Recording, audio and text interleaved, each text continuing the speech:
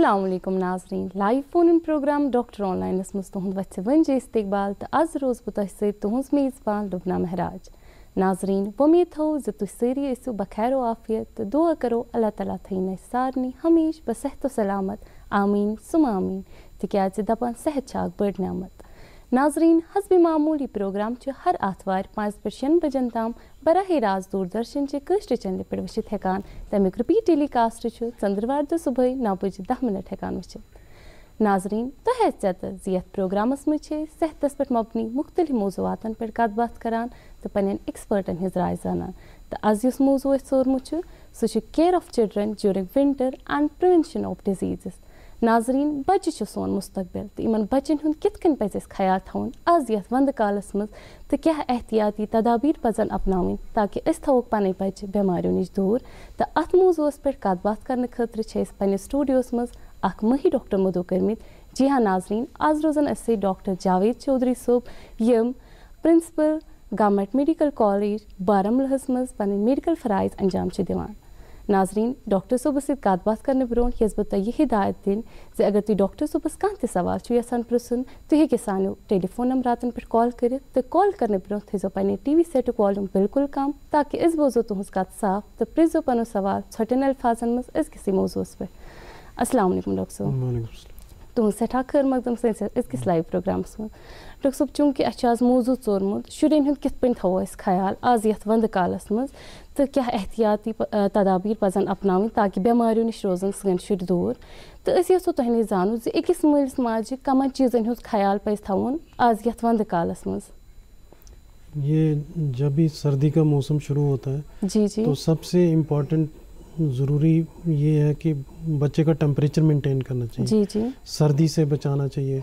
बच्चे को हमेशा गर्म रखना चाहिए। बाहर निकाल निकालना नहीं। जैसे सुबह सुबह ठंड होती है जल्दी कई बच्चे जो बड़े बच्चे होते हैं डेढ़ साल दो साल जो चलते हैं कमरे से बाहर निकल जाते हैं। तो वहाँ कमरा गर्म होता है बाहर अचानक जाते हैं वहाँ सर्दी से सर्दी हाँ। उनको इन्फेक्शन जुकाम खांसी के चांसेस ज़्यादा होते हैं। जैसे जो ही बच्चा पैदा होता है नवजात बच्चा जैसे जिसको हम न्यू कहते हैं जितना बच्चा छोटा उतने चांसेस ज़्यादा होते हैं। ज़्यादा होते हैं कि हम्म, इसको हम्म। सर्दी सर्दी में हाइपोथर्मिया कहते हैं ठंड लगने का। हम्म, बच्चे का टेम्परेचर डाउन हो जाना।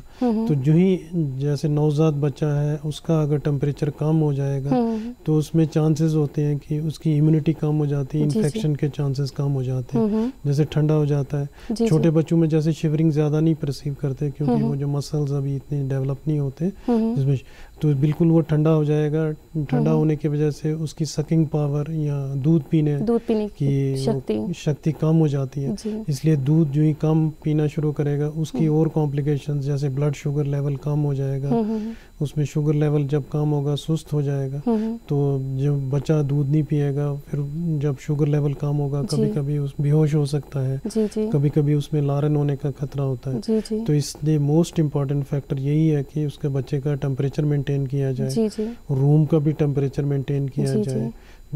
रूम टेम्परेचर ज़्यादा गर्म भी नहीं होना चाहिए ज़्यादा ठंडा भी नहीं, नहीं होना चाहिए नॉर्मल टेम्परेचर ताकि बच्चा अपनी एक्टिविटीज़ के फीडिंग वगैरह ठीक हो और दूसरी बात का ये ख्याल रखना कि कमरे में ओवर क्राउडिंग ज़्यादा नहीं होनी हम्म, हम्म, हम्म। चाहिए जैसे ओवर क्राउडिंग की वजह से किसी को कोई आता है किसी को जुकाम होता है खांसी होती है? उसकी वजह से क्रॉस इन्फेक्शन के चांसेस होते हैं। बड़ों से छोटे बच्चे को ज़्यादा चांसेस हो जाते हैं इन्फेक्शन होने के खासकर रेस्पिरेटरी इन्फेक्शन रेस्पिरेटरी इन्फेक्शन जो सांस की छाती की इन्फेक्शन जुकाम खांसी उसी से फिर कभी कभी सांस हो जाता है। वो ज़्यादा चांसेस होते हैं कि क्रॉस इन्फेक्शन के। हम्म, हम्म, हम्म। तो एक कमरे में क्लीन एटमॉस्फेयर रखा जाए टेम्परेचर प्रॉपर और थोड़ा वेंटिलेशन का भी ख्याल किया जाए ताकि कमरे में इतना बिल्कुल ही बंद करके और टेम्परेचर ज़्यादा हो जाएगा ऑक्सीजन की कमी हो जाएगी। तो उसकी वजह से भी बच्चा इरिटेबल हो जाएगा तो पहले इरिटेबल होगा फिर बाद में सुस्त हो जा सकता तो इसलिए इन सब चीज़ों का ख्याल मोस्ट इंपॉर्टेंट है टेम्परेचर टेम्परेचर दूसरा है इंपॉर्टेंट फैक्टर की फीडिंग एंड डाइट जी जी. फीडिंग और डाइट में ये आता है कि जो ही जितना बच्चा छोटा छह हम्म। महीने तक तो बिल्कुल सिर्फ़ माँ का माँ का दूध देना चाहिए। एक्सक्लूसिव ब्रेस्ट फीडिंग तो छह महीने के दौरान कोई और कोई टॉप फीडिंग कोई फार्मूला फ़ीड मतलब कोई डब्बे का दूध हम्म। कोई गाय का दूध बिल्कुल नहीं देना। बल्कि पानी की भी ज़रूरत नहीं है। कहीं सोचते नहीं जी हम कहवा दे देंगे इसको। शंगरी कहवा देंगे दालचीनी कहवा देंगे वो सब अवॉइड करना है। तो इसमें सिर्फ़ छह महीने तक सिर्फ़ माँ का दूध। जो ही बच्चा छह महीने का हो जाएगा छह महीने के बाद बाकी चीज़ें हम इंट्रोड्यूस करते हैं। इसको हम कहते हैं सप्लीमेंट्री फीडिंग जी जी। सप्लीमेंट करना। हाँ।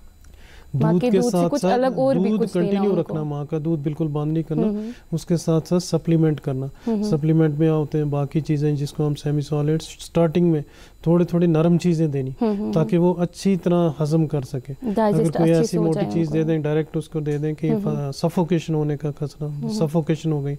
अचानक वो नरम चीज़ें बिल्कुल दे नरम चीज़ों में ये होम मेड चीज़ें घर की हम्म। बनी हुई हम्म। जिसमें कभी कभी हम कह सकते हैं जैसे मैंने अभी बोला कि कहवा छः महीने से काम नहीं देना छः महीने के बाद थोड़ा थोड़ा कहवा हाँ स्टार्ट कर दें। जी जी। वो अगर हजम हो जाता है फिर कोई फार्मूला सूप वगैरह भी हाँ, देते हैं कभी कभी। मीट सूप दे दें चिकन सूप दे दें वेजिटेबल हम्म, सूप एक एक चम्मच दो दो चम्मच ये नहीं सोचना कि बस उसके पीछे वो स्टार्टिंग में जब बच्चा होगा एक चम्मच दो चम्मच लेगा वो और डिमांड करेगा मगर उसका ख्याल रखना कि ये हजम हो जाना चाहिए। जी, जी, अगर एक्सेस फीडिंग करेंगे हम्म, हम्म। तो उसमें वो उल्टी होने का खतरा होता बच्चे है, की डिमांडिंग कैपेसिटी होगी उतना ही क्योंकि माँ माएँ थोड़ी होती हैं बेताब की ये जी बच्चा ले रहा है तो और देते जाओ देते हाँ, जाओ हाँ। फिर बाद में वॉमिटिंग शुरू हो जाती है।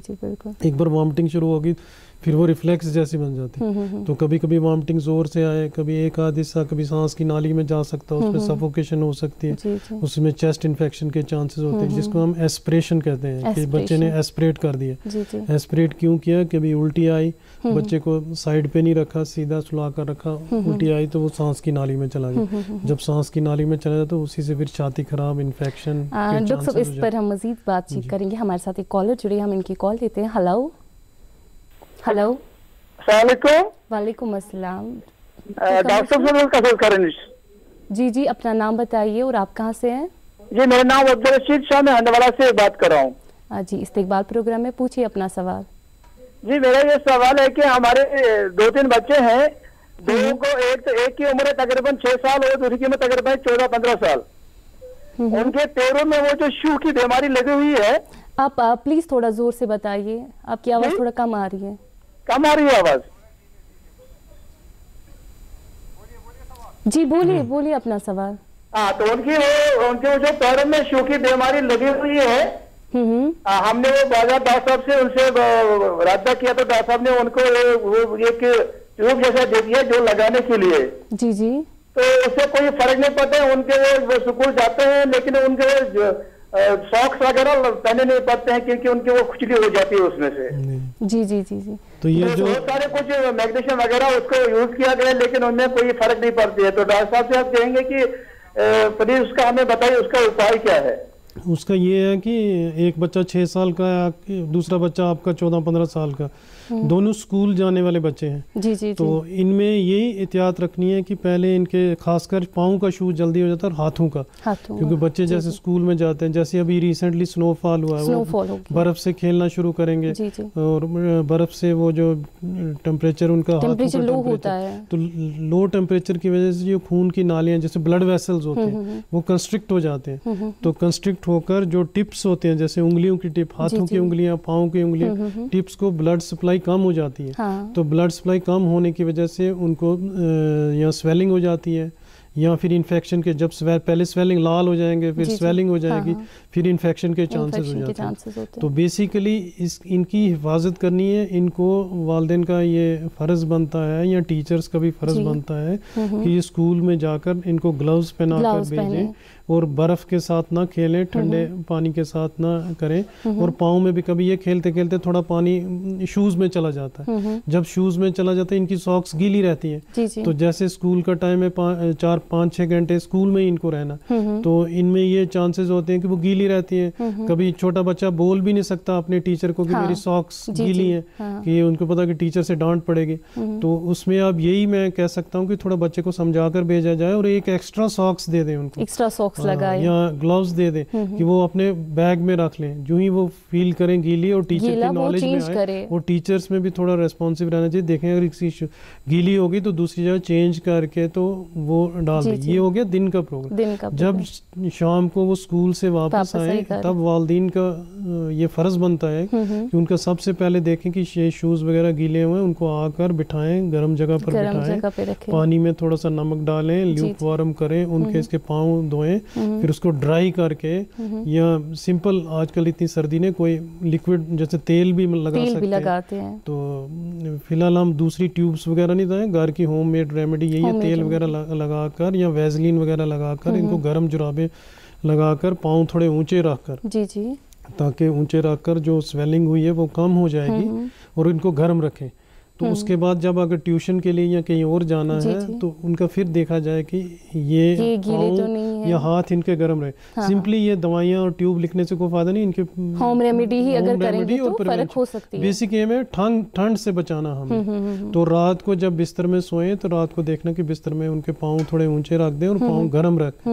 तो पाँव में सॉक्स कहीं गीली तो नहीं होगी? जैसे बच्चे को नॉलेज नहीं होती बच्चा सॉक्स पहनकर बाथरूम चला गया बाथरूम में फिर हाँ, गीला हो जाएगा तो इसमें यही है कि सबसे मोस्ट इंपॉर्टेंट इंपॉर्टेंट फैक्टर है इनको ड्राई रखें और टेम्परेचर हाँ। मेंटेन करें। हम्म, हम्म। उसकी वजह से वो ब्लड फ्लो सारा ठीक रहेगा उनको। हम्म, तो कुछ आजकल मेडिसिन हैं हम ट्यूब्स भी देते हैं जिसमें वो ब्लड फ्लो इंक्रीज होता है उनको वो उसमें ये प्रिवेंट होता है। और जब कहीं इन्फेक्शन हो जाए अगर जैसे टिप ऑफ़ फिंगर्स या टिप ऑफ़ टोज में कोई इन्फेक्शन हो गई तो उसमें अकॉर्डिंगली देखें कि कोई इसको इन्फेक्शन के कोई जरासीम कोई एंटीबायोटिक्स वगैरह देनी अगर पास पड़ने का खतरा फिर एंटीबायोटिक दे दें।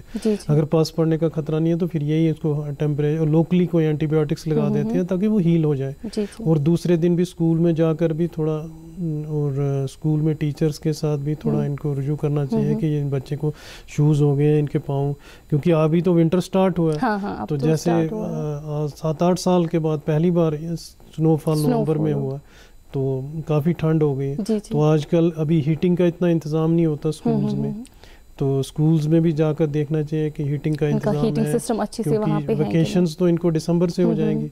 अभी ये देखना पड़ेगा कि टेम्परेचर बिल्कुल लो है हीटिंग का इंतज़ाम रखना हाथ हम्म। गर्म कभी हम्म। बच्चे को लिखना पड़ता है पेन हम्म। से पेंसिल से होमवर्क करते अगर हाथ ठंडे हैं तो उससे मुश्किल हो जाएगा। थोड़ा सा हीटिंग वगैरह और थोड़ा गर्म रखें उससे काफ़ी हद तक ये बिल्कुल प्रिवेंट हो जाए प्रिवेंट हो सकता है कम तो, हो सकता ट्रीटमेंट में यही आ गया कि उसको जैसे मैंने बताया कि घर में पेरेंट्स को ख्याल रखना है ताकि वो इसको चेंज करे अगर गीला हो तो करना और ब्लड फ्लो इंक्रीज करना ताकि उनके पाँव बेसिकली ठंडा होने से ब्लड सप्लाई पहले कम होती है फिर बाद में स्वेलिंग वगैरह हो जाती है। ये सारी प्रिकॉशंस दूसरे कॉलर जुड़े हम इनकी कॉल देते हैं। हेलो हेलो वालेकुम अस्सलाम। जी मैं अबरार बिमना से बोल रहा हूँ। अबरार आपका इस्तेकबाल प्रोग्राम है पूछिए अपना सवाल। मुझे डॉक्टर चौधरी साहब से ये पूछना है बहुत ही कॉम्प्लिकेटेड सवाल है बहुत ही ज़रूरी भी है मेरे ख्याल में। हम्म, हम्म, पूछिए। वैक्सीन के बारे में हम्म, जो प्रोटेक्ट के लिए फ्लू के लिए है वो बच्चों को ज़रूरी करना है कि नहीं? और अगर करना है तो कौन सा करना है? जूनियर वाला करना है या और कोई करना है? उसके मतलब ये पूरी लाइट डाल इसके बारे में। बिकॉज़ ये सीरियस कंसर्न है। बाद में जब आउटब्रेक होता है फिर इंसान कुछ भी नहीं कर सकता है। So prevention is best and early is best ये फ्लू के बारे में आप पूछना चाहते हैं? हाँ फ्लू में वैक फ्लू वैक या कोई भी वैक हो कोई भी हो फ्लू की वैक्सीन जो भी अवेलेबल है वैक्सीनेशन वैक्सीनेशन इससे काफ़ी जो एच वन एन वन जैसे स्वाइन फ्लू जैसी स्वाइन फ्लू ये खासकर जब मौसम चेंज होता है जैसे हाँ, सितंबर अक्टूबर चेंजिंग वेदर चेंजिंग वेदर में इनके चांसेस होते हैं इन्फेक्शन के। तो इस बारे में कि वैक्सीन ज़रूरी करना चाहिए जो ही बच्चा छः महीने या छः महीने के ऊपर हो जाता है हम्म। तो उसको अब आजकल हमने रूटीन में वैक्सीनेशन में रख दिया कि रूटीन हम्म। में एक वैक्सीन कर लें अगर जो एफर्ट हम्म। कर सकते फ्लू वैक्सीन करें। जो छोटे बच्चे हैं तीन साल से कम उनमें दो डोजेस लगाते हैं। जैसे एक डोज आज की फिर एक महीने के बाद दूसरी डोज की। तो वो दो डोजेस उसको एक साल के लिए उसकी हिफाजत करेंगे फ्लू वैक्सीन से फ्लू से बचने के लिए। तो जो बच्चे तीन साल से ऊपर हैं उनमें एक ही डोज लगानी पड़ेगी। तो वो एक डोज एक साल तक उनकी हिफाजत करेगी। और ये वैक्सीन ज़रूरी है जो एफर्ट कर सकते हैं उन्होंने करना चाहिए। क्योंकि ये काफ़ी हद पे स्वाइन फ्लू से प्रिवेंट हो प्रिवेंट सकता है। सकते हैं। क्योंकि स्वाइन फ्लू की जो कॉम्प्लिकेशंस किसी वक्त होती हैं और ज़्यादा डेंजरस कॉम्प्लिकेशंस भी हो सकती हैं तो प्रिवेंशन इज़ बेटर देन तो इसलिए मैं इनको यही हिदायत करता हूँ कि ये बहुत अच्छा सवाल पूछा है इन्होंने ये वैक्सीन ज़रूरी है ये करनी चाहिए फ्लू को प्रिवेंट करने के लिए। और इसमें सीजनल होता है और हर छः महीने ये नई वैक्सीन आती रहती है। तो उसमें देखना चाहिए वैक्सीन जो नई वैक्सीन आई है और स्ट्रेन कौन से हैं इसमें? नॉर्थ हेमिसफेयर के या साउदर्न हेमिसफेयर नॉर्थ में डिफरेंट हो जाते हैं साउदर्न के डिफरेंट हो जाते हैं। तो वही जो हमारे लिए नॉर्थ नॉर्दर्न हेमिसफेयर की जो वैक्सीन है वो करनी हम्म, चाहिए हम्म, हम्म। और बल्कि जो प्रिवेंट करे इसको एच वन एन वन को। और वैक्सीन की देखना चाहिए ठीक है स्टोरेज प्रॉपर हुई है और वो फ्रेश वैक्सीन है। इस सीज़न के लिए नई वैक्सीन आई है। ये सारी प्रिकॉशंस देकर ये वैक्सीन करवानी चाहिए। जी डॉक्टर साहब हमारे साथ दूसरी कॉलर जुड़े हैं। हेलो हेलो हेलो हेलो अस्सलाम वालेकुम। वालेकुम अस्सलाम। तुम कम छो तो कत पे छो अच्छा सारी वाला पे सारी वाला लाल चौक पे थे। तो क्या छो नाम रफीका। रफीका जी इस्तकबाल प्रोग्राम में प्रिस्तो पनो सवाल।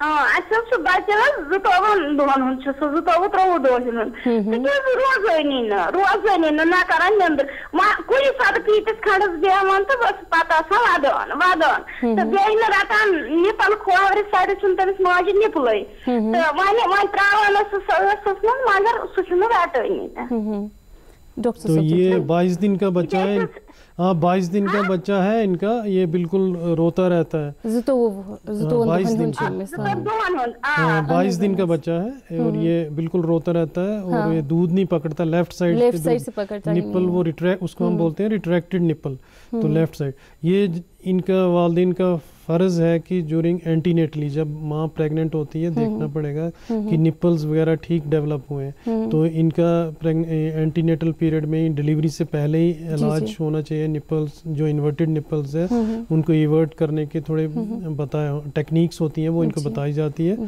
तो इनको अकॉर्डिंगली टेक्निक्स बताएँगे। तो, तो वो निपल्स के ताकि लेफ़्ट साइड से भी दूध हाँ। पी सके।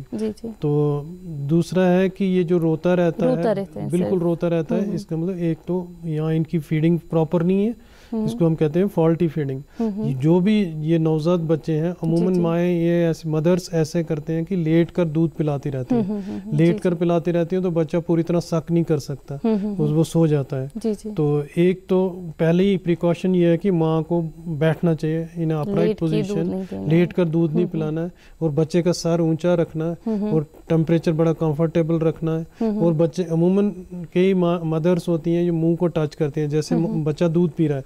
एक तरफ़ टच करते हैं एक तरफ़ निपल होता है। जी ये इसको हम कहते हैं रूटिंग रिफ्लेक्स हम्म, हम्म। जो ही बच्चा माँ के निपल के पास जाता है वो रूट रूट मस्त ढूंढता है निपल को रूट हम्म, करता है। तो अगर दूसरी साइड वो ज़बरदस्ती हाथ से उसको पकड़ पकड़ के ले जाए बच्चा कंफ्यूज हो जाता है हाँ, हाँ, हाँ। कि ये निपल किस तरफ़ है राइट साइड है या लेफ़्ट साइड है? इस वक्त ना उधर जाता ना उधर जाता है। फिर जब वो बच्चे को दूध अच्छी तरह प्रॉपरली नहीं मिलता है थोड़ी वो रोने रोने से थोड़ी हवा चली जाती है। जब हवा अंदर जाती है तो हवा से उसको पेन वगैरह कोलिक्स होती रहती है। तो उसकी वजह से बच्चा हमेशा रोता रहता है चिड़चिड़ापन रहता है।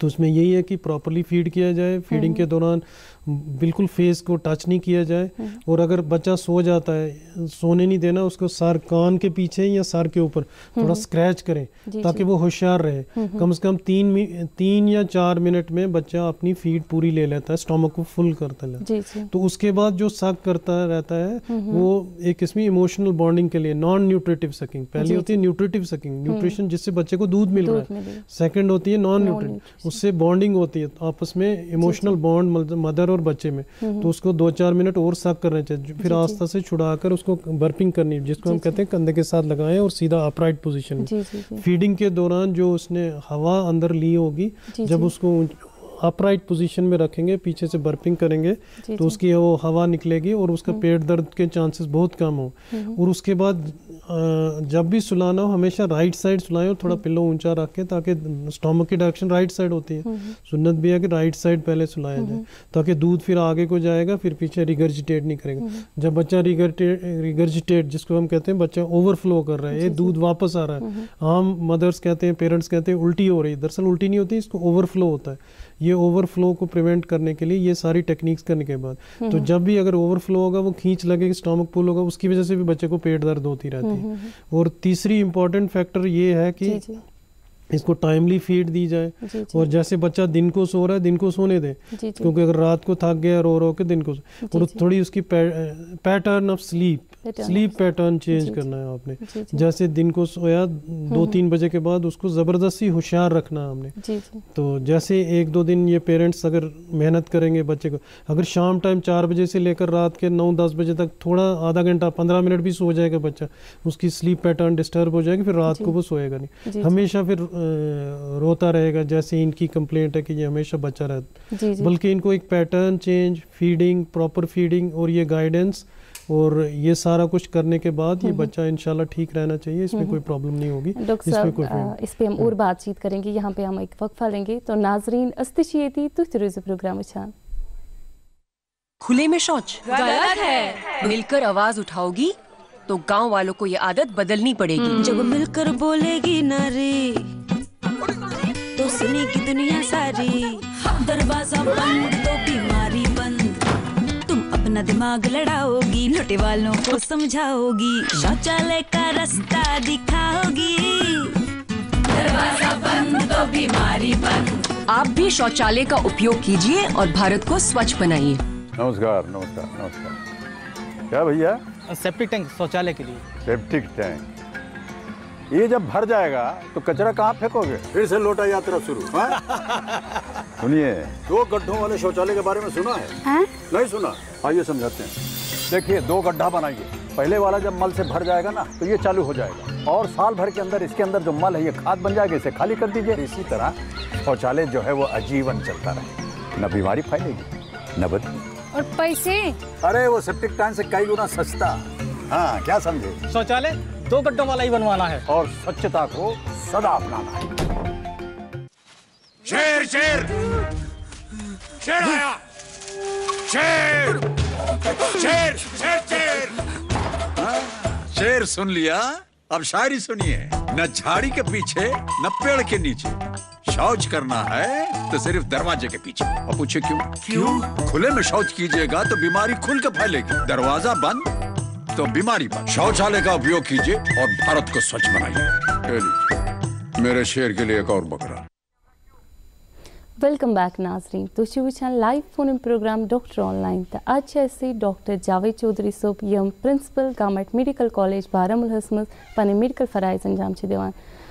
डॉक्टर सोब वक्त दौरान कॉलर जुड़े में इसमें call hello hello hello hello अस्सलाम वालेकुम वालेकुम अस्सलाम तो क्या छो नाव मे नाव मोमिन निसार मोमिन सोब तुम इस्तकबाल प्रोग्रामस मज तुम कत पे कॉल करान बागात कनी बरोज डिस्ट्रिक्ट बडगाम पे अहन वनो पनो सवाल बच्चे तकरीबन यह साड़न त्रेन रेतन हुंद अहन तो अमिस गो तकरीबन गोडनुक रेत खंड त्रयित अमिस पे अमिस मदर द्राव बराबर दोद कहें तो तम मूजूब पे अमिस थोड़ा बहुत यह दिन अमिस दिवान सिमिलैक सिमिलैक एडवांस अहन तो अमिस यह फीडिंग गसान पे तुम पत्थर सन त्रा पाँच दह मिनट गि अमिस क्या टाइम गि यह दो दिवान वापस थोड़ा बहुत अम मज तो यह प्रॉब्लम रूज अमिस तकरीबन कंटिन्यू तन पे अमिस पत करे डॉक्टर सबस पन फैमिली मज तमो दिते लैंजॉल जूनियर दितो तमो दवा तो सह अमिस दिवान सह टैबलेट अड़ फुटरत दिवान आब कतरस मज तो दिवान कहो दो पे मगर तम सह गई खास फ़र्क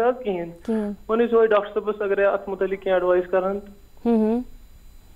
ये इनका साढ़े तीन महीने का बच्चा है। तो इसमें दवाइयों का कोई ज़्यादा रोल नहीं जैसे इन्होंने खुद ही बोला कि मैंने कोई दवाई दी तो उससे कोई फ़र्क नहीं पड़ा। जी जी। तो इसमें बेसिकली ये जैसे मैं अभी बता रहा था कि ये ओवरफ्लो होता है। तो जैसे फीडिंग भी ओवर हो जाती ओवर फीडिंग करते हैं। हम्म। जैसे अमूमन जब बच्चा पैदा हो हम्म, हम्म। तो पैदा होते ही ये पहले माँ का दूध लगाना चाहिए।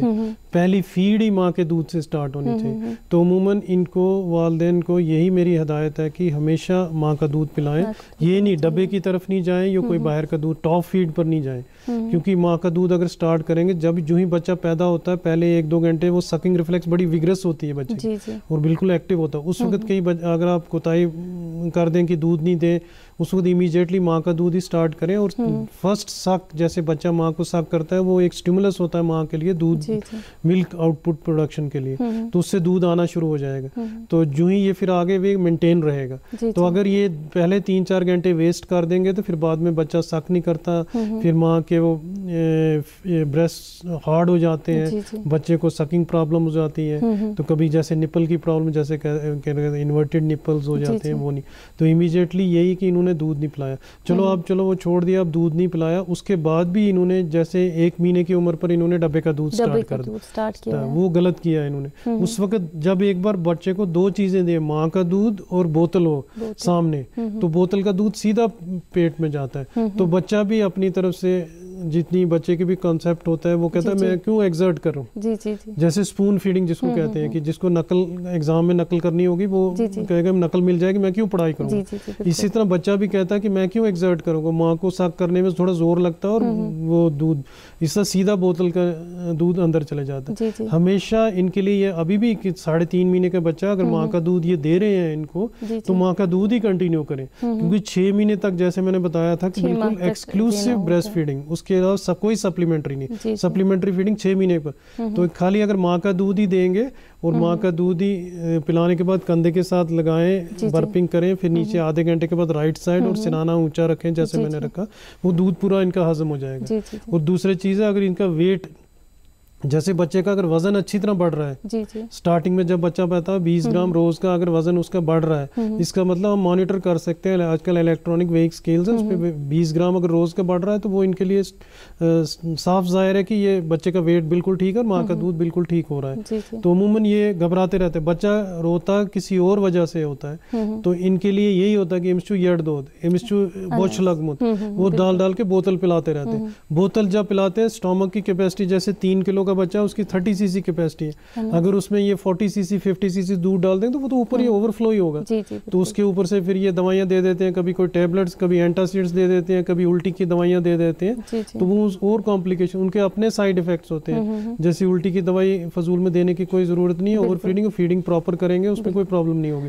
जैसे म्यादे के लिए कोई टेबलेट देंगे वो टेबलेट की टेबलेट से वो स्टोमक उनका खराब हो सकता है डिपेंड हो जाता है क्यों हम्म। देनी दवाइयाँ कोई दवाइयाँ देनी प्रॉपर फीडिंग अब मेरी इनको यही राय है कि आप प्रॉपर फीडिंग करें माँ का दूध दे दें हम्म। और अगर बोतल एकदम नहीं बंद कर सकते। बोतल का जो दूध देना है अगर इनको लगे हम्म, कि दूध पूरा नहीं हो रहा है वो स्पून से दे सकते हैं जब तक कि वो माँ का दूध पूरा होना शुरू और दूसरा अगर माँ का दूध और बोतल दोनों इकट्ठे लगा देंगे एक थोड़ा माँ पर साइकोलॉजिकल हो जाता है प्रेशर तीसरा माँ को पता होता है मैंने अपना दूध देना काम छोड़कर फटफट बच्चा रो रहा अपना दूध पिलाना दो घंटे के बाद। इस तरह वो बोलेंगे माँ काम करने में बिज़ी है तो कभी दादी या नानी को बोल देंगे दे दो दो बोतल इसको जब तक मैं काम उसमें हम्म। वो एक किस्म की डेडिकेशन खत्म हो जाती है। उसका जो अपना काम वो होती है ड्यूटी हम्म, हम्म। जिसको हम कहते हैं। माँ की ड्यूटी है कि माँ का दूध ही देना। तो वो कम हो जाती है। तो वो डिपेंडेंट हो जाता है। और उससे साइकोलॉजिकली रिलीजिंग हार्मोन्स होते हैं माँ को जो दिमाग से रिलीज़ होते हैं ऊपर हायर सेंटर से रिलीज़ होते हैं। तो जो माँ अपना दूध दे रही है जी, उसके हार्मोन्स रिलीज़ होते रहते हैं और मिल्क आउटपुट रहता है। जी, जी. जब उसको पता चलेगा इसको बोतल भी है अल्टरनेटिव वो अपने काम में बिज़ी तो वो हार्मोन रिलीज़ कम हो जाते हैं। तो कुदरती वो मिल्क आउटपुट कम हो जाता कम है, है। जिसको हम कहते हैं ना शुक्री हो गई। हम्म, हम्म, हम्म। तो ये सारी इनको मैं इनको अब साढ़े तीन महीने का बच्चा हो गया है इनको यही मेरी तरफ़ से यही राय है। अभी भी माँ को अपना दूध देना चाहिए। माँ ने बिल्कुल अपना दूध पिलाना चाहिए बच्चे को। बोतल के बारे में भूल जाना चाहिए। उसके बाद भी अगर लगे कि नहीं है तो वो स्पून से दे। और माँ को ही इन्वॉल्व करना है फीडिंग के लिए। किसी और को नहीं है। जैसे घर में दादी है नानी है वो आती है तो वो दूध पिलाना शुरू कर देते डॉक्टर साहब हमारे साथ दूसरी कॉलर जुड़े हैं। हेलो हेलो वालेकुम। अस्सलाम। पनु तारुक दिवस मुश्ताक अहमद गंगलूक पे मुश्ताक सब तुंद इस्तकबाल प्रोग्रामस मज प्रेसो पनो सवाल। मे डॉक्टर साहब अक्सर ये सवाल अच्छे लकुट बच्चे लगभग शुरान रेतन हूँ अहन तमिस अक्सर रोजान छत खराब अहन अत नियो डॉक्टर साहब डॉक्टर मुजफर जानस नश तमिस मोन्टेर एल सी किड अहन प्रिसु प्रिसु पन सवाल सह कर तम बंद तम गसान बे छत खराब मगर छत गसान खराब कर जुकाम कर तम पत डॉक्टर साहब तो में भी तो इसके सोलह महीने का बच्चा है घड़ी घड़ी खांसी। जैसे अगर महीने में हर महीने खांसी छाती खराब हो जाती है वो हम्म, थोड़ा नॉर्मल है। जी जी। जैसे दो दूसरे तीसरे महीने कभी रूटीन में थोड़ी बहुत माइल्ड सी इन्फेक्शन हो जाती है वो तो उसको हम नॉर्मल लेते हैं। तो जो हर महीने घड़ी घड़ी इन्फेक्शन होनी उसमें ये सारा कुछ बच्चे को पूरा थारो चेकअप करने के बाद बता दें कि बच्चे की ग्रोथ कैसी है। जी। अगर बच्चे की ग्रोथ सोलह महीने के बराबर है वेट हाइट सारी एक्टिविटीज़ बिल्कुल ठीक है और बच्चे ने फीडिंग क्या की इसमें भी ये मैं दोबारा माँ के दूध पर आता हूँ। अगर इसको जन्म से माँ का दूध पिया होगा इसने आज तक पी रहा होगा प्लस सप्लीमेंट्री फीडिंग माँ के दूध से उनकी इम्यूनिटी भी अच्छी होगी रेजिस्टेंस भी अच्छा होगा एलर्जिक प्रॉब्लम्स भी नहीं होगी घड़ी घड़ी छाती भी नहीं खराब होती। तो दूसरी बात ये देखना पड़ेगा इनको क्रॉस इन्फेक्शन तो नहीं होती जैसे मैं बताया था कमरे में कभी ओवर क्राउडिंग तो नहीं होती। अचानक सुबह सुबह बच्चा सोलह महीने का बच्चा बाहर तो नहीं निकल जाता ठंड में ये सारी चीज़ें देने। और अननेसरली ये एंटी एलर्जिक दवाइयाँ एंटी हिस्टामिनिक्स ये बिल्कुल नहीं देने हैं इनके साइड हम्म। इफ़ेक्ट्स भी होते हैं जी जी। तो उसमें देखना पड़ता है हर बार छाती क्योंकि ये माइल्ड इन्फेक्शन होती है जैसे इन्होंने बोला पहले ज़ुकाम होता है ज़ुकाम हम्म। की वजह से जो ही ज़ुकाम हो वो ज़ुकाम का थोड़ा बहुत छोट इलाज करके ताकि हमारी कोशिश यही होती है कि ज़ुकाम को अगर हम पूरा ट्रीटमेंट नहीं करेंगे जी जी। फिर वो छाती में चला छाती जाता में चला जाता है। तो इसलिए वो सारी इनकी प्रिवेंशन पहले हम कोशिश करनी है कि प्रिवेंट करना है इसको गैप इंक्रीज करना है। हम्म, हम्म, हम्म। जो घड़ी घड़ी हर महीने छाती खराब वो नहीं होनी चाहिए कम से कम। उसमें देखना ये भी बोले कि दवाई लेती तब फ़र्क होती है। दवाई ज़्यादा नहीं देनी हमने दवाइयों पर डिपेंडेंट नहीं रखना। तो वो कभी कभी थोड़ा बहुत जुकाम हो बीच में कभी एंटी एलर्जिक दवाई या वो दे दिए। और उसमें खासकर एंटीबायोटिक्स वगैरह कुछ नहीं देनी है हमने। और यही देखना है कि क्यों हो रही है इन्फेक्शन उसमें देख लेते हैं कभी किस किसी वजह से एलर्जिक प्रॉब्लम है। हम्म, हम्म। किसी डाइट में क्या है इनके? अगर कभी कभी कईयों को काउज मिल्क प्रोटीन एलर्जी होती है गाय का हम्म, दूध ज़्यादा दे तो उसकी एलर्जी की वजह से भी जुकाम खांसी शुरू हो जाती है। किसी को एग एलर्जी है किसी को डस्ट एलर्जी है किसी को कोल्ड एलर्जी है किसी को किसी किसी डाइट से एलर्जी तो बेसिकली उसके एलर्जिक टेस्ट भी करते हैं हम देखते हैं किस चीज़ से एलर्जी है। उस चीज़ से एलर्जी है वो अगर वो एलर्जी वाली चीज़ें अवॉइड करेंगे तो इनकी छाती ठीक रहेगी खराब नहीं होगी। तो ऐसे ब्लाइंडली कोई ट्रीटमेंट नहीं करना डॉक्टर साहब हमारे साथ दूसरी कॉलर हैं। हेलो हेलो हेलो अस्सलाम वालेकुम अस्सलाम वालेकुम वालेकुम अस्सलाम पनु तारुफ मैडम इस गांधरबल पे फारूक अमल लोन फारूक सुब इस्तिकबाल प्रोग्राम में प्रिस्तो करना सवाल। मैडम असो सवाल? डॉक्टर साहबस अच्छ बच्ची छस मगर सह पलवन हूँ कम इस्तेमाल करान सह माना पलो लागन आज सर्दी मज तहन तम सिर्फ़ वार वरस मज यानी थर्मोकॉट तथ मज बेहवान बे तमिस कलस आसान थोड़ा जोश खेनस मज कर लापरवाही खेन माना खेन मसल ये तीन साल की बच्ची है एक तो हाँ। तो खाने में लापरवाही करती और कपड़े, कपड़े भी कम कपड़े पहनती कम पहनती है। हम्म, हम्म। तो ये थोड़ा इनको एक तो देखना पड़ेगा बच्चे को कि ये खाने पीने में इनकी अपनी गलती तो नहीं है। हम्म, ये जैसे बच्चे जैसे तीन साल के बच्चे हैं अमूमन बाहर जाते हैं कभी जूस पी लिया कभी चिप्स खा लिए चॉकलेट खा लिया हम्म, हम्म। ये चीज़ें खाकर फिर वो घर में आते हैं खाना नहीं खाते। हम्म, तो ये पेरेंट्स की भी ये वालदेन का भी ये बनता है ड्यूटी कि इनको बिल्कुल इन चीज़ों को से अवॉइड किया जाए। जी जी। इनको पहले अगर खाना खाएँ हाँ। उसके बाद इनको देंगे थोड़ा सा हम स्वीट दे देंगे। हम अगर पहले खाना खाओगे। या पहले ये यहाँ पैसे ले जाते हैं घर से बाहर जाकर आउटसाइड कुछ भी आउटसाइड कुछ भी जंक फ़ूड वगैरह ले लेते हैं तो इनका पेट भर जाता है फिर खाना नहीं खाएँगे। फिर घर में जब खाना खाते हैं जब बच्चा घर में आता है पेरेंट्स फंसी हो जाते हैं डांटते हैं इनको। जी जी। खाना क्यों नहीं खा रहे ये क्यों नहीं हम्म। खा रहे? फिर गुस्से में इन प्रोटेस्ट कभी कभी वो कपड़े नहीं पहनते। हम्म, हम्म। हो सकता है एक वजह ये भी हो गई। इसमें एक बच्चे के साथ बड़ा एक हेल्दी एटमॉस्फेयर होना चाहिए घर में। पेरेंट्स को बच्चे का थोड़ा दोस्त बन के रहना है। जी जी। उनके साथ ये डांटना नहीं है उनको। बड़े तरीके से और बच्चे को फॉलो करना है। जी जी। जैसे सुबह से शाम तक क्या कर रहा है कहाँ क्या खाया है इसने। बाहर गया था क्या खाया ये हम्म, हम्म। सारा उसका फॉलो एक इसमें चार्ट बनाकर रखना। हम्म, फिर देखना है कि कहाँ हमारी गलती है कहाँ इसकी गलती इसमें डॉक्टर कुछ नहीं करेगा इसमें दवाइयाँ कुछ नहीं करेंगे इनको। तो ये जो लग रहा है कि तीन साल का बच्चा बिल्कुल ठीक है फिट है हम्म। खाना नहीं खा रहा और कपड़े नहीं पहन रहा। इसका मतलब इसमें इतनी ताकत है अंदर इतनी डाइट है हम्म, हम्म, कि मेटाबॉलिज्म को जो फेस कर रहा है ठंड को फेस जी, कर जी, रहा है। Body temperature body temperature maintain कर। रहा है। तो जैसे जो स्टार्ड बच्चा होगा जो कमज़ोर बच्चा होगा उसको तो ठंड लगेगी शिवरिंग होगा। वो तो फटफट उसमें ज़्यादा कपड़े जैसे कोई और मेटाबॉलिज्म जैसे थायराइड की प्रॉब्लम होती है उसमें ज़्यादा ठंड लगती है बच्चों उसमें कपड़े ज़्यादा लगते हैं। ये इसमें इसमें इसमें इनको यही है कि ये बच्चे जंक फ़ूड खाकर आते होंगे। हो सकता माँ इसको डांटती होगी बाप डांटता होगा ये खाना नहीं खा रही ये नहीं खा रही वो नहीं खा रहे। तो उसमें थोड़ा सा इन प्रोटेस्ट वो करते होंगे। तो उसके बाद भी इनको देखा जाएगा इनका एक बार देखते हैं तीन साल के बच्चे की ग्रोथ कैसी है। अब इन्होंने फ़ोन पे ग्रोथ में पता नहीं है वेट कितना है हाइट कितनी है और इनका इंटेलिजेंस कितनी है पढ़ाई में कैसा है रेस्पॉन्स कैसा करता है बच्चा।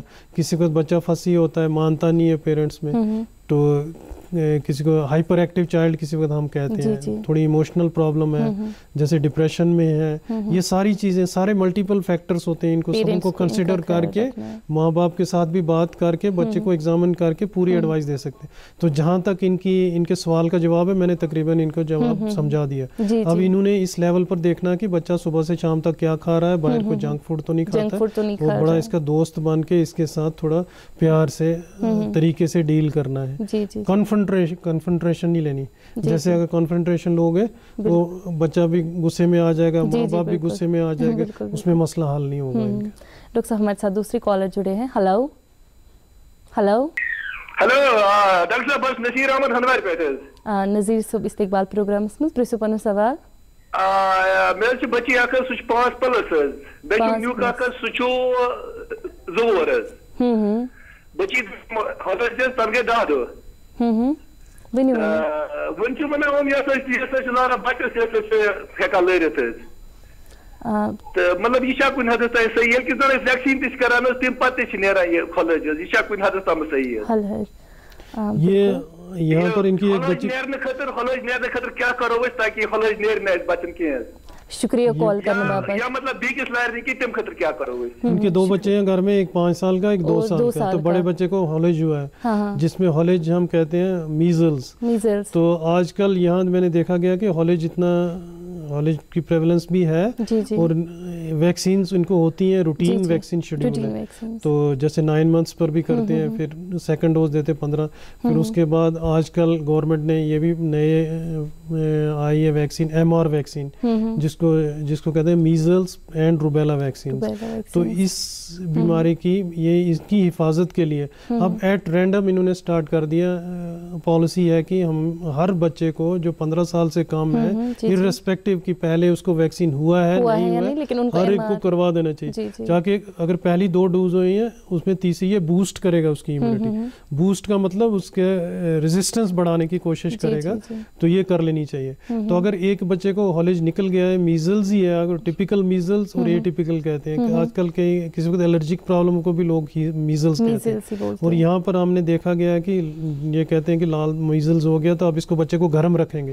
ये भी गलत है। उनका बिल्कुल normal temperature normal hygiene proper ventilation और प्रॉपर डाइट इनको देनी है। अगर ये बेसिकली वायरल इन्फेक्शन होती है इसमें हम एक बच्चे की न्यूट्रिशन प्रॉपर होनी चाहिए इनटेक क्योंकि बच्चे को बुखार है वो खाना पीना कम कर देता है। तो उसको कोशिश करके डाइट, डाइट अच्छा और उसके बाद लिक्विड अच्छे देना है पानी वगैरह खुला ताकि हाइड्रेशन जी जी। पानी बराबर रहे डिहाइड्रेटेड हम्म, हम्म। ना हो। उसकी वजह से भी वो उसकी इम्यूनिटी बढ़ जाएगी बच्चे की। प्रॉपर डाइट और दूसरी वेंटिलेशन प्रॉपर होनी चाहिए हम्म। कि प्रॉपर कमरे में गर्मी भी ज़्यादा नहीं और सर्दी भी ज़्यादा रूटीन केयर रखें।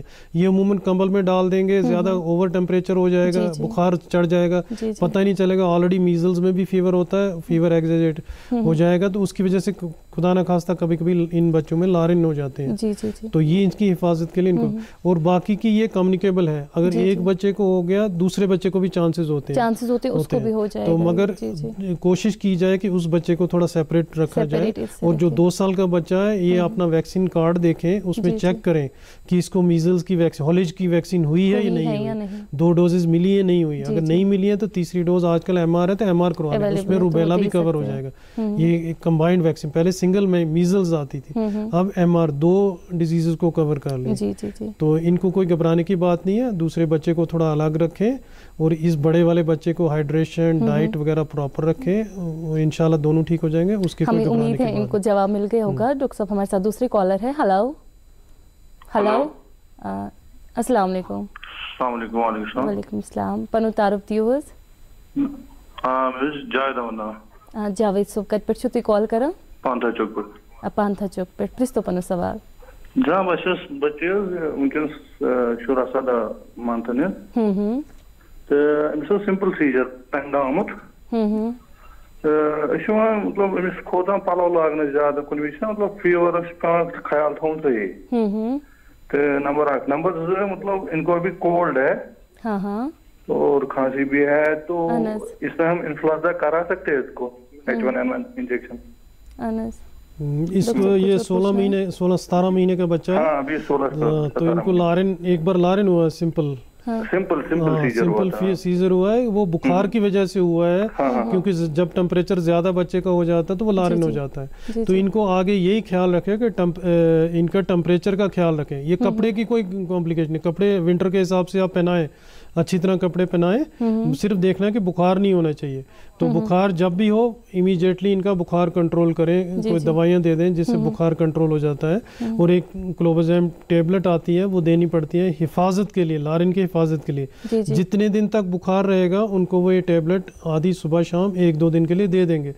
तो जहाँ तक वैक्सीन का ख्याल है जब बच्चा बीमार होता है जैसे इसको अभी खांसी है जुकाम है अब देखना पड़ेगा कि चेस्ट इन्वॉल्वमेंट कितने लेवल का है। अगर बहुत ज़्यादा इन्वॉल्व है और जुकाम भी है फिर एक दो दिन में खांसी जुकाम जो ही ठीक हो जाता है फिर इन्फ्लुएंजा वैक्सीन बड़े शौक से कर सकते हैं। अभी नहीं अभी अगर बुखार जब तक कंट्रोल हो जाएगा इन्फेक्शन कंट्रोल हो जाएगा उसके बाद करें। क्योंकि जब भी बुखार में किसी और कॉम्प्ले हो सकता कोई वायरल इन्फेक्शन चल रही होगी। तो ये इन्फ्लुएंजा वैक्सीन भी एंटीवायरल ही है। तो आपस में कोई इंटरेक्शन हो सकती है कुछ हो सकता है। तो ये प्रिकॉशंस लेनी पड़ती है। तो इसलिए इसमें ये इनको बुखार कंट्रोल करें इन्फेक्शन कंट्रोल करें बराबर लगाने और बराबर कपड़े पहनाएँ टेम्परेचर मेंटेन करें हम्म, ना हम्म। ज़्यादा ठंड में। हम्म। अगर ज़्यादा ठंड में रखेंगे कपड़े उतारेंगे बच्चे को शिवरिंग हो जाएगी। हाँ, हाँ। अचानक शिवरिंग हो जाएगी शिवरिंग से वो मसल्स कंट्रैक्ट करते हैं। तो बुखार फिर चढ़ सकता है बल्कि लारन के चांसेस ज़्यादा है। ये इनको मैं यही राय दूँगा नॉर्मल कपड़े पहनाए। हम्म, तो ये डर डरते होंगे या सोचते हैं हम कपड़े नहीं ज़्यादा हाँ। पहनाने कपड़े पहनाने से ला रहे कपड़े पहनाने से ला रहे नहीं होगा। अगर ठंड में बल्कि हम जब बच्चे को बुखार होता हम ये भी नहीं बोलते कि उसको नलके के पानी के आप दज जिसको कहते हैं। आप दज नलके के पानी से नहीं करने चाहिए बल्कि हाँ। आजकल ठंड है उसको थोड़ा सा कोस्ट ल्यूक वार्म हाँ ल्यूक वार्म कर दें। नीम गर्म कर दें उसकी स्पंजिंग करें। हम्म। ताकि अचानक शिवरिंग होगी तो शिवरिंग के साथ फिर लारिंग भी हो सकता है।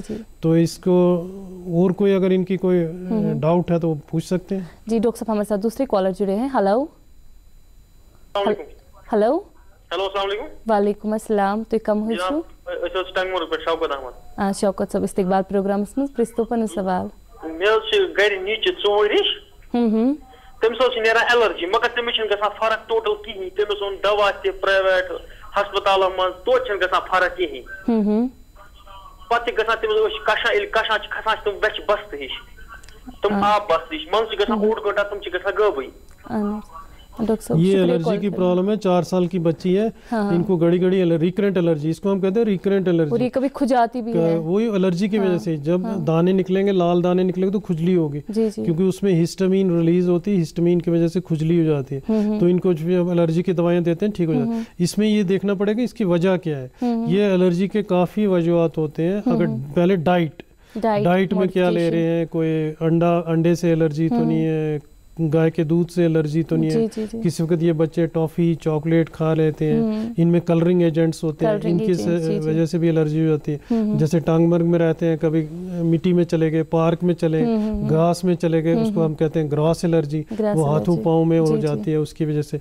ये सारा देखने के बाद पहले एलर्जी का ट्रीटमेंट होता है। फिर उसमें देखना पड़ेगा कि इमीडिएटली ये डॉक्टर के पास जाते हैं वो एंटी हिस्टामिनिक को एंटी एलर्जिक देंगे दवाई दो चार दिन ठीक हो जाती है। लोशन वगैरह लगाएँगे मगर ये रिकरेंट क्यों हो रहा है? किसी को बच्चे के पेट में आम आम होते हैं जैसे कीड़े हम्म, होते हैं हम्म। उनकी वजह से भी एलर्जी हो जाती है। जी, जी, जी. तो कोई बच्चा कोई दवाई खा रहा है दवाई की वजह से भी एलर्जी हो जाती है ये सारा इन टोटल देखना पड़ेगा क्यों होता है तो हमारी कोशिश यही रहेगी इसमें कि पता किया जाए कि वजह क्या है। वजह क्या है जहाँ जो वजह है उसी का इलाज किया जाए। हम्म, हम्म, हम्म, तो ट्रीटमेंट ये करते हैं सिम्टोमेटिक इसको एक कहते हैं सिम्टोमेटिक ट्रीटमेंट एक कहते हैं clear cut treatment radical treatment radical हो गया कि वो जो वजह है उसको खत्म करना। दूसरा हो गया सिम्टम्स जो है जैसे फीवर है फीवर को कंट्रोल करते हैं मगर उसकी वजह क्या है?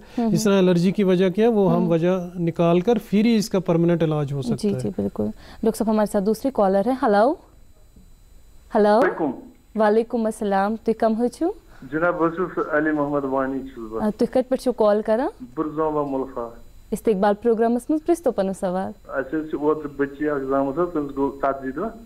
लाल देद हस्पतालस मज तेलिस कोरुक तत वैक्सीन कुठिस तल कन तत सु जखम सु बलानी वैक्सीनेशन जख्म ये बीसीजी किया होगा जब पैदा होते ही बच्चा हाँ, उसी वक्त जब बच्चा पैदा हो उसी वक्त इन्होंने वैक्सीन किया उसको बीसीजी वैक्सीन कहते हैं। तो जब हम बीसीजी वैक्सीन करते हैं इमीडिएटली हम्म। उस वक्त करेंगे उस वक्त कुछ नहीं होगा। हम्म। ये इंटरडर्मल वैक्सीन होती है। स्किन हम्म, के बीच में लगाते हैं। तो उसमें ये जो जब वैक्सीन लगाते हैं कुछ नहीं होता उसमें फिर लैग पीरियड होता है। तीन चार तीन चार हफ़्ते के बाद वो थोड़ा छोटा सा दाना बनता है। मोटा सा दाना होता है। फिर वहाँ से पस जैसी निकलती है। वो एक्चुअली पस नहीं होती है। वो नॉर्मल टेक ऑफ़ होता है कि बीसीजी सक्सेसफुल बीसीजी हुआ। बीसीजी अच्छा हुआ। ये अच्छी बात है कि इसको ये कह रहे हैं कि बलान शुनकीन।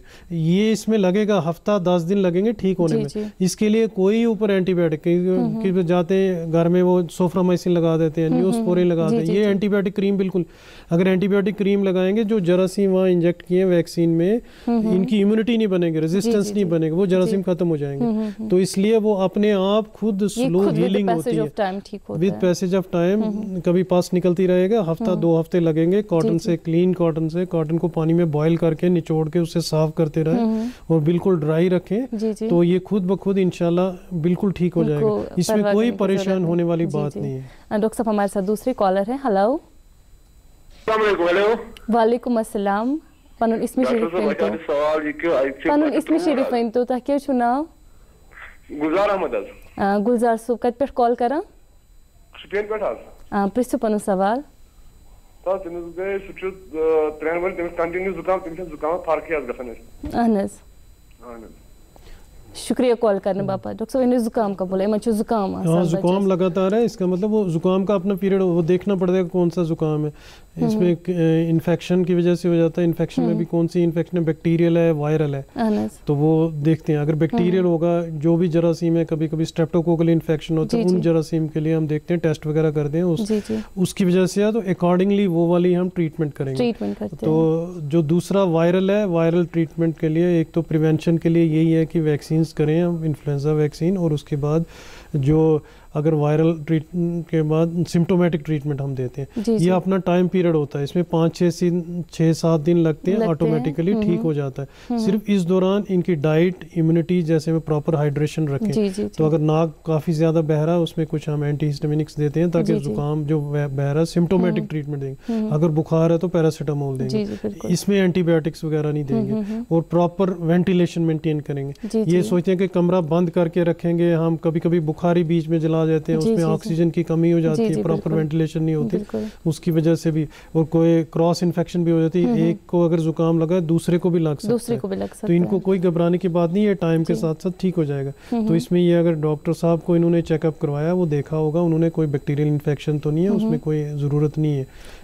अगर अकॉर्डिंगली बैक्टीरियल इन्फेक्शन है तो फिर उसका ट्रीटमेंट अलग होगा अगर वायरल है उसका अलग ट्रीटमेंट होगा और बाकी ये सिम्टम्स इनशाला सात आठ दिन में बिल्कुल ठीक हो जाएँगे। डॉक्टर साहब हमारे साथ दूसरे कॉलर है। हेलो हेलो अस्सलाम वालेकुम वालेकुम अस्सलाम पनुन इसमें शरीफ तो जावेद अहमद ताक कत पे शुति कॉल कर अनंतनाग इस्तिकबाल प्रोग्रामस मस प्रिसु पनु सवाल छुस पूरे ये टीमो हम डॉक्टर लाइन लाइन प्रोग्राम पेश करान यमन सान हन शुक्रिया अदा करन वारिया असल प्रोग्राम छ शुक्रिया जावेद साहब डॉक्टर साहब ना शुक्रिया की मोन तशरीफ़ शुक्रिया तो डॉक्टर साहब करा अर्ज़ की इन चिल्ड्रन विद डिसेबिलिटीज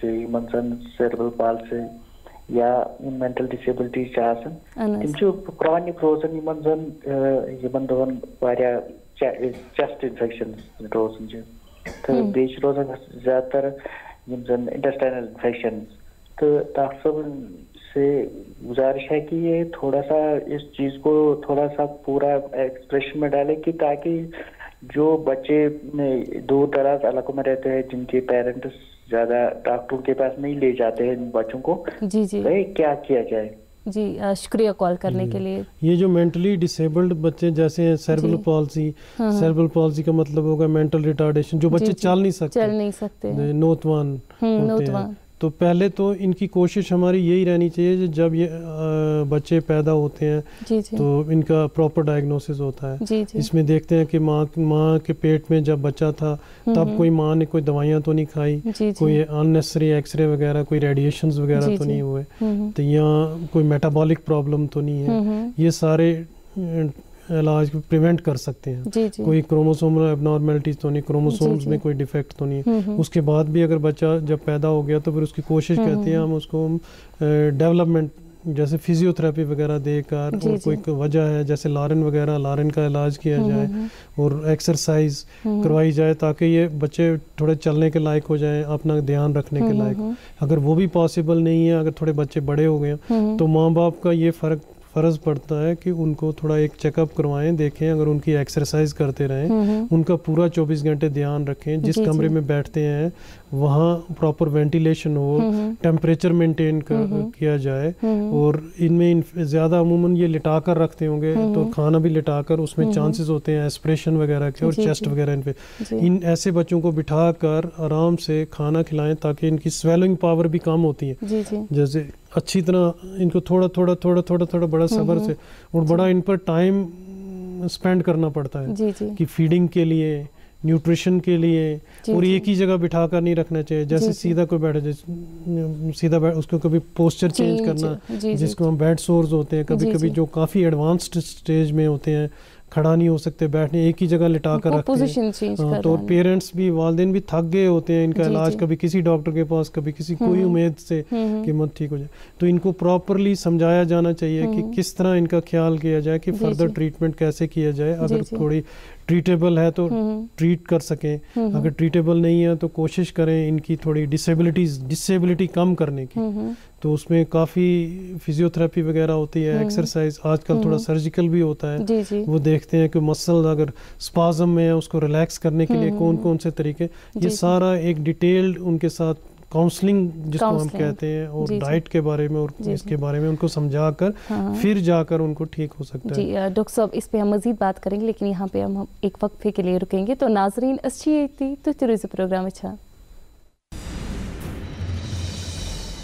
अरे समीर इसे तो बहुत चोट लगी है। अरे भाई जरा मदद करो। मैं एंबुलेंस को फ़ोन करती हूँ। रुको रुको ये बेहोश है। इसे हिलाना नहीं चाहिए। हो सकता है सर या रीढ़ की चोट हो जो मजीद बढ़ जाए। इसके खून का बहना रोकना चाहिए। तुम इस साफ़ रुमाल से इसकी ब्लीडिंग वाली जगह पर ज़ोर से बाँध दो। सीमा इस टूटी हड्डी को किसी सख्त चीज़ से सहारा देना चाहिए जैसे कि ये बैग। मैं तो घबरा ही रही थी कि कहीं हम पूछताछ में फंस न जाए। हमारी मर्ज़ी के बगैर कोई भी हमारे नाम या नंबर के लिए मजबूर नहीं कर सकता। दिखे कहीं जख्मी इंसान करो मदद और बनो अज़ीज़। सेहत व खानदानी बहबूद वजारत के ज़रिए मुफाद आम में जारी। नमस्कार नमस्कार नमस्कार। क्या भैया? सेप्टिक टैंक शौचालय के लिए। Septic tank. ये जब भर जाएगा तो कचरा कहाँ फेंकोगे? फिर से लोटा यात्रा शुरू हाँ? सुनिए। दो गड्ढों वाले शौचालय के बारे में सुना है? हा? नहीं सुना। आइए समझाते हैं। देखिए दो गड्ढा बनाइए। पहले वाला जब मल से भर जाएगा ना तो ये चालू हो जाएगा। और साल भर के अंदर इसके अंदर जो मल है ये खाद बन जाएगा इसे खाली कर दीजिए। इसी तरह शौचालय जो है वो आजीवन चलता रहे। न बीमारी फैलेगी न बदली और पैसे? अरे वो सेप्टिक टैंक से कई गुना सस्ता। हाँ क्या समझे? शौचालय दो गड्ढों वाला ही बनवाना है। और स्वच्छता को सदा अपनाना है। बेटा, मदद तो करनी चाहिए, लेकिन कहीं पुलिस के झमेले में ना फंस जाए। सड़क हादसे में मदद करने से कोई भी परेशानी नहीं होती। मददगार को यह हक है कि वो पुलिस और अस्पताल को अपना नाम पता बताए या ना बताए। इसलिए हादसा देखते ही फ़ौरन एंबुलेंस और पुलिस को फ़ोन कीजिए। अगर एंबुलेंस आने में देरी हो रही हो तो जख्मी को अपनी गाड़ी में अस्पताल ले जाना चाहिए। अस्पताल या कोई भी डॉक्टर फ़र्स्ट एड देने से इनकार नहीं कर सकता। ज़िंदगी बचाई, असली हीरो बनिए। सेहत और खानदानी बहबूद वजारत की जानब से मफाद अम्मा में जारी। वेलकम बैक नाजरीन। तो चूचा live phone program doctor online. तो अच्छे ऐसे डॉक्टर जावेद चौधरी सोब यम principal government medical college Baramulla मज पे मेडिकल फराइज अंजाम दिवान डॉक्टर साहब वक्फे के दौरान हमारे साथ कॉलर जुड़े हैं। हेलो। हेलो। जी आदाब एम की बट साहब हूँ। जी जी जी। डॉक्टर साहब बच्चे और बच्चे और खेल में बड़ा ताल्लुक है आपस में मैं भी बच्चा था मैं कश्मीर का रहने वाला जब मैं छह सात साल का था इतना बर्फ़ गिर रहा जैसे आज गिर रही है।